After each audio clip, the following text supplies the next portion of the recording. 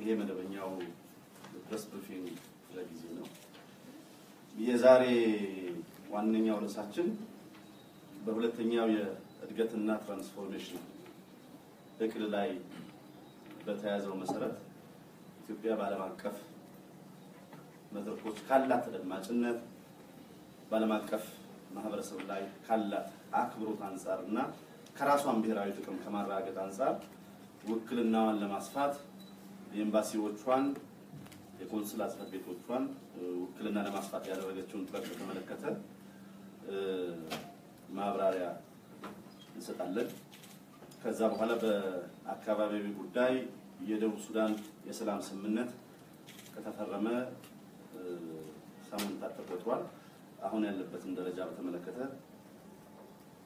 ገለጻ አጠር ያለ ገለጻ ይኖረኛል። ሶስተኛ በተደጋጋሚ እያጋጠመን ያለው ችግር ከውጭ ጉዳይ የሚመነጩ መግለጫዎች በመገናኛ ብዙኃን በተገቢው መንገድ እየተላለፉልን አይደሉም። በተደጋጋሚ ቅሬታ እያቀረብን ነው። እሱን በተመለከተ አንድ ሁለት አስተያየቶች ለመስጠት ሞክሬ ጥያቄና መልስ ለጊዜ ይሆናል። የዚህ መግለጫ ዋና ዋና ጭብጦች በጽሁፍ ስለተዘጋጁላችሁ ከቃል አቀባይ ጽሕፈት ቤቱ የምታገኙ ይሆናል።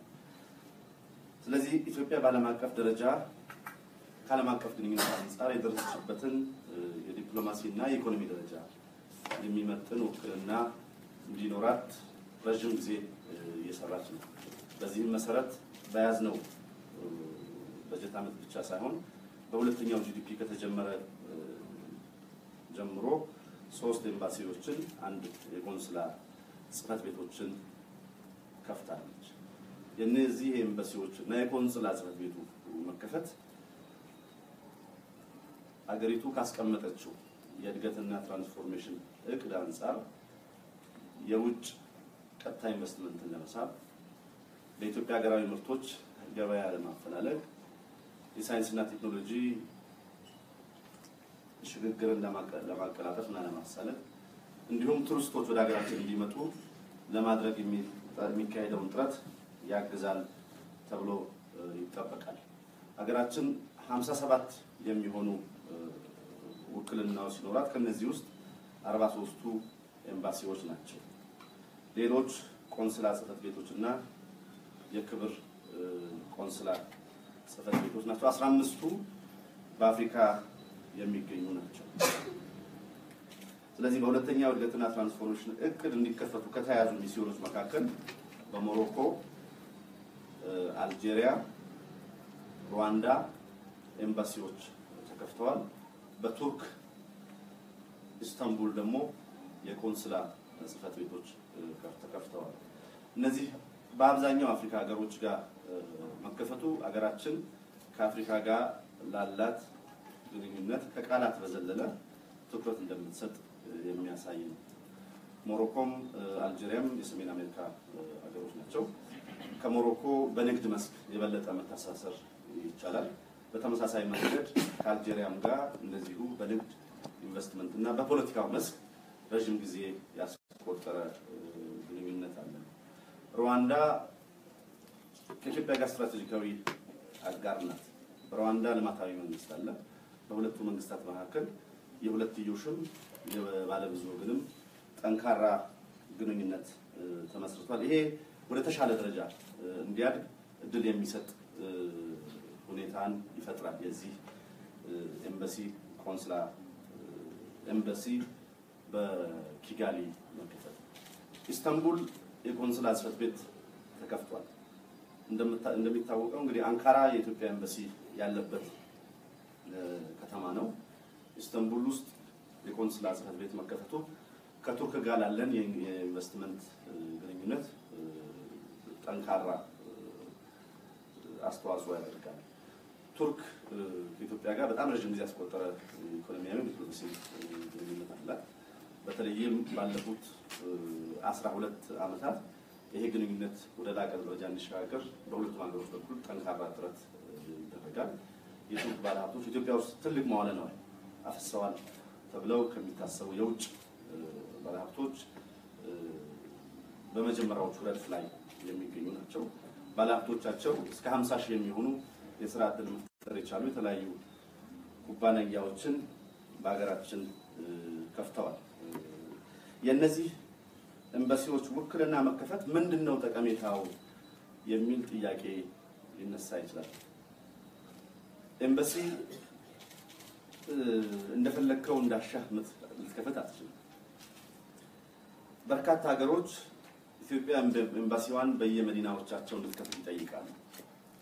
ከአፍሪካም፣ ከአውሮፓም፣ ከኤዥያ ይሄ በአዎንታዊ ጎኑ ሊወሰድ ይችላል። ከኢትዮጵያ ጋር ያላቸውን ግንኙነት የበለጠ ለማጠናከር ከኢትዮጵያ ጋር ያላቸውን ወዳጅነት የበለጠ እንዲሰምር ለማድረግ ያላቸውን ፍላጎት ሊያሳይ ይችላል። ይሁን እንጂ ኤምባሲ የምትከፍትበት መንገድ አገሪቱ ካላት የኢኮኖሚ ጥንካሬ በየሀገሮቹ ኤምባሲዎቻቸው በመከፈታቸው ከሚገኘው ጥቅም ጋር የሚያያዝ ነው። ይህ ሊታወቅ ይገባል። ይህ በማይሆንበት ሁኔታ አንደኛ ውክልናችንን የምናሰፋባቸው መንገዶች የክብር ቆንስላ ነው። የክብር ቆንስላ ማለት ኢትዮጵያን ጨምሮ ሀገራት ኤምባሲ ወይም ቆንስላ ጀነራል መክፈት በማይችሉበት ወቅት በሌሎች ሀገራዊ ብሔራዊ ጥቅማቸውን ለማስከበር ሲፈልጉ የሌሎች ሀገሮችን ዜጎች ይጠቀማሉ። ከኢትዮጵያ ጋር ትስስር ያላቸው ኢትዮጵያን በቅርብ የሚያውቁ የኢትዮጵያ ብሔራዊ ጥቅም እንዲከበር ለመስራት ፍላጎት ያላቸው ባሉበት ሀገርም ተሰሚነት፣ ተደማጭነት፣ ተከባሪነት ያላቸውን ሰዎች እንቀበላለን። ስለዚህ ኤምባሲ ከመክፈት ቆንስላ ከመክፈት በተጨማሪ ባለፈው ዓመት ባለፈው የበጀት ዓመት በርካታ የክብር ቆንስላ ጽሕፈት ቤቶች ተከፍተዋል። ይህም ኢትዮጵያ ከሀገሮቹ ጋር ያላትን ግንኙነት የበለጠ ለማጠናከር ረድቷል። ይሄ ዋነኛው ርዕሳችን። ሌላኛው በቅርቡ የኢህአዴግ ስራ አስፈጻሚ ኮሚቴ ተሰብስቧል። የዚህን ስብሰባ ውጤት ከውጭ ግንኙነት አንጻር ያለውን ፋይዳ ማንሳት ያስፈልጋል። ይሄ የውጭ ጉዳይ ሚኒስቴር ስለሆነ ከውጭ ግንኙነት አንጻር ያለው ሌላውን የሚመለከተው አካል ሲሰጥበት ቆይታ እየሰጠበትም ስለሆነ በኢህአዴግ በኩል የፖለቲካ ምህዳሩን የበለጠ ለማስፋት የዲሞክራሲ ስርዓት ግንባታው የበለጠ ጥልቀት እንዲኖረው እየተደረገ ያለው እርምጃ ለውጭ ግንኙነታችንና ለዲፕሎማሲያችን በጣም ትልቅ ፋይዳ ነው። በኢፌድሪ የውጭ ግንኙነትና ሀገራዊ የደህንነት ፖሊሲ እና ስትራቴጂ ላይ በግልጽ እንደተቀመጠው የውጭ ግንኙነታችን ከውስጥ ወደ ውጭ የሚመለከት ነው። ይሄ እንደየሀገሩ ነባራዊ ሁኔታ እንደየሀገሩ ተጨባጭ ሁኔታ ይለያያል። አንዳንድ ሀገሮች የውጭ ግንኙነታቸው መነሻ ከውጭ የሚመለከት ነው። ውጭ ያሉ ተግዳሮቶችን፣ ውጭ ያሉ ፈተናዎችን መከላከል፣ መቆጣጠር፣ ብሔራዊ ጥቅም ላይ አደጋ እንዳያደርሱ ማድረግ ከተቻለ የውስጥ አደጋን መቀነስ ይችላል የሚል አንደኛው አስተሳሰብ ነው። ብዙ የአውሮፓ ሀገሮች፣ ብዙ የአሜሪካ ሀገሮች የሚከተሉት። ሁለተኛው ደግሞ ኢትዮጵያን የመሰሉ ሀገሮች የፌድሪ የውጭ ግንኙነትና ሀገራዊ ደህንነት ፖሊሲ እና ስትራቴጂ ላይ በግልጽ እንደተቀመጠው ኢትዮጵያ ውስጥ ያለው ሰላም፣ ዲሞክራሲ፣ ልማት ነው ለውጭ ግንኙነት ፖሊሲያችን አፈጻጸምና ስኬታማነትና ውጤት አስተዋጽኦ የሚያደርገው የሚል ጠንካራ ብታል። ይሄ በፖሊሲ ደረጃ ከዛሬ 15 ዓመት በፊት በግልጽ የተቀመጠ ነው። ስለዚህ በሀገር ውስጥ ሰላም እንዲመጣ፣ ዲሞክራሲው ስር እንዲሰድ፣ የመልካም አስተዳደር እንዲጎለበት፣ ዲሞክራሲው እንዲጠናከር የሚወሰድ እርምጃ ሁሉ ለውጭ ግንኙነት ፖሊሲያችን ስኬት አስፈላጊ ነው። ሰላም በሌለበት ኢንቨስትመንት ማሰብ አይቻልም። ሰላም በሌለበት ልማትን በአጠቃላይ ማሰብ አይቻልም። ሰላም በሌለበት ዲሞክራሲ ስር እንዲሰጥ ማድረግ አይቻልም። ስለዚህ በመንግስት እየተወሰደ ያለ እርምጃ ለውጭ ግንኙነት ፖሊሲያችን ትግበራና ስኬት አስተዋጽኦ ያደርጋል። ይሄ ተጠናክሮ እንዲቀጥል እና ውጤታማ እንዲሆን የውጭ ጉዳይ ሚኒስቴር ከውጭ ግንኙነት አንጻር አስፈላጊው ርብርብ የሚያደርግ ይሆናል። ከሀገራችን ወጥተን በአካባቢያዊ ጉዳይ ላይ አንድ ሁለት ነገሮች እንደ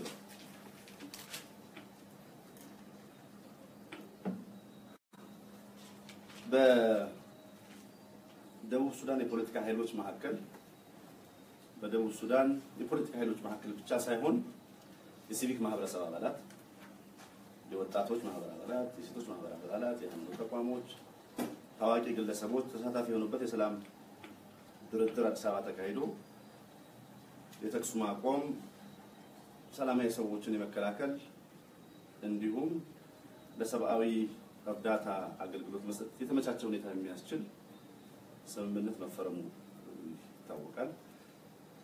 ስምምነቱ ወደ ትግበራ እንደተገባ የተፈጠሩ እንከኖች ነበሩ። እሱን አስመልክቶ የኢጋድ የሚኒስትሮች ምክር ቤት የወቅቱ ሊቀመንበር የሆነችው ኢትዮጵያ ያወጣቸው መግለጫ ነበር። ይሄ መግለጫ የደቡብ ሱዳን ተቀናቃኝ ኃይሎች የሰላም ስምምነቱን እንዲያከብሩ፣ የሰላም ስምምነቱን ካላከበሩ ኢጋድ እንደ ተቋም አስፈላጊውን እርምጃ እንደሚወስድ ይሄ በስምምነቱ ላይ በግልጽም ስለተቀመጠ ነው። ማስጠንቀቂያ ተሰጥቷል። ይህን ተከትሎ አሁን በደቡብ ሱዳን ከሞላ ጎደል የሰላም ስምምነቱ እየተተገበረ ነው። ይሄ በጎ እርምጃ ተደርጎ ይወሰዳል። በነገራችን ላይ ደቡብ ሱዳን በጣም ትልቅ ሀገር ነው። የቆዳ ስፋቱን ብናየው በጣም ትልቅ አካባቢ ነው። ድንበሩን ከመቆጣጠር አንጻር መንግስት በእያንዳንዱ ቦታ ላይ ቁጥጥር የለውም። ህገወጥ የጦር መሳሪያዎች ከዚህ በፊት እንደ ልብ ገብተዋል።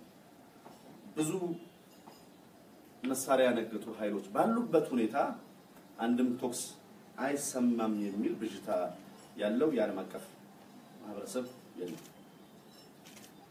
ቁም ነገሩ ያለው ዋነኞቹ የፖለቲካ ኃይሎች የደቡብ ሱዳን የሰላም ስምምነት እንዲከበር ቁርጠኝነታቸውን አሳይተዋል። ፕሬዚዳንት ሳልቫኪር ስምምነቱን ካቢኔያቸው እንዲያጸድቅ አድርገዋል። ዋነኛው ተቀናቃኝ ኃይል ዶክተር ሬክ መቻር የእሳቸውን ቡድን ይህን ስምምነት በሙሉ ድል ተቀብሏል። ስለዚህ ስምምነቱ ትግበራ ላይ በመተማመን ወደ ስራ የገቡበት ሁኔታ አለ። ይሄ ተጠናክሮ እንዲቀጥል ዓለም አቀፉ ማህበረሰብ ድጋፍ እያደረገ ይገኛል። በተጣሰበትም ወቅት በተመሳሳይ መንገድ ተቃውሞውን ገልጿል።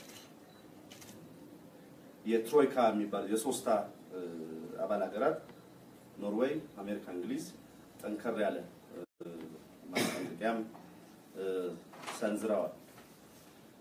ይሄ እንግዲህ በአካባቢያዊ ጉዳይ ዋነኛው ነው። ሶስተኛው ቅድም ለመጥቀስ እንደሞከርኩት የመገናኛ ብዙኃን ከመንግስት አካላት ዜና ማግኘት መረጃ ማግኘት መብት አላቸው። ይህንን ማድረግ ያስፈልጋል። በውጭ ጉዳይ በኩል በዚህ ላይ ምንም አይነት ጥያቄ የለም። በራችን ሁል ጊዜ ለመገናኛ ብዙኃን ክፍት ነው። በተቻለ መጠን መረጃ እንድታገኙ እናደርጋለን። የዛኑ ያህል ግን የምንሰጣችሁ መረጃ በሰጠንበት ቃልና መንፈስ መውጣቱን እርግጠኛ መሆን እንፈልጋለን። በዚህ በኩል ተከታታይ ክፍተቶች አይተናል። ከሁለት ወር በፊት በአንድ ወር ውስጥ ከሰጠነው ሰላሳ መግለጫ ውስጥ አስራ ሁለቱ የተሳሳተ ነው። ይሄ ሬዲዮዎች መበላሽተውታል። ጋዜጠኞች ጋዜጦችም ቴሌቪዥኖችም በተሳሳተ መንገድ ዘግበውታል። በእኛ በኩል ይሄ ሆን ተብሎ ነው የሚል እምነት የለም። በቅንነት የተደረጉ ስህተቶች ናቸው ይሁን እንጂ የስራ መንፈሳችንን የጋራ መስተጋብሩን ያውቃሉ ብለን እናስባለን። የአውሮፓ ህብረት ያወጣውን መግለጫ ጽፈህ የኢትዮጵያ መንግስት እንዴት አይጠየቅም? በጣም ቀላል ነገር። የኢትዮጵያ መንግስት እዚህ አዲስ አበባ ነው የተቀመጠው።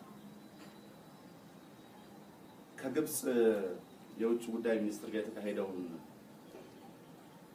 ውይይት በተመለከተ የዘገበ መጽሔት ቢቢሲን ነው የጠቀሰው። ኢትዮጵያ መንግስት አዲስ አበባ አዲስ አበባ ውስጥ ያለ መጽሔት እንደዚህ አይነት ተመሳሳይ ስህተቶች አሉ እና እሱ እንዲታረሙ በድጋሚ እንማጸናለን። ስም መጥራት ስለማያስፈልግ ለጋዜጠኛውም ለሚዲያውም ክብር ሲባል እሱን አስተካክሉልን።